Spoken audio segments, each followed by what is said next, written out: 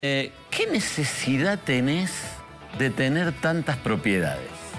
¿Quién le puede haber preguntado a quién eso? Yo no tengo ningún. Se lo preguntó un amigo bueno, un amigo, digamos, de la radio con vos, tiene uno de los programas que tiene, que es Alejandro Berkovich, se supone que es más afín al kirchnerismo, Roberto. Sí, en realidad siempre se ha discutido esto porque Berkovich es más de izquierda, digamos. Él, dice, dice tener una identificación con los partidos de izquierda más que con el kirchnerismo.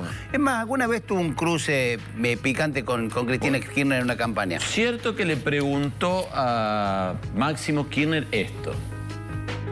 ¿Qué necesidad tenés de tener tantas propiedades? Pues trató de morigerar un poquito, pero se lo preguntó igual. Acá está. ¿Qué necesidad tenés de tener tantas propiedades? ¿O cómo, cómo vivís? ¿Cómo atravesas esa situación? No entiendo bien esa pregunta, pero sí te puedo explicar que en realidad es todo a través de lo que fue la muerte de mi viejo el 27 de octubre de 2010 y de lo de la sucesión anticipada de Cristina, es eso.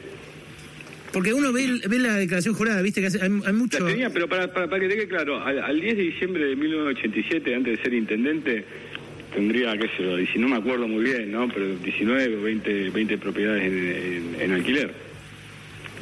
al 10 de diciembre de 1987, antes de ser intendente, ¿eh? ¿Y vos, ¿Y vos, mantenés esas propiedades porque es el negocio familiar, digamos? Porque... sí, hoy está todo embargado inhibido, igualmente, ¿no? Esa es la situación. Ah, eso no sabía no sé cómo estar ahora, sí, sí, sí, sí, eh, es así. Pero lo, lo aclaro lo del 10 de diciembre de 1987 porque si no, por ahí a veces se confunden algunas cosas, ¿no? Bueno, ahí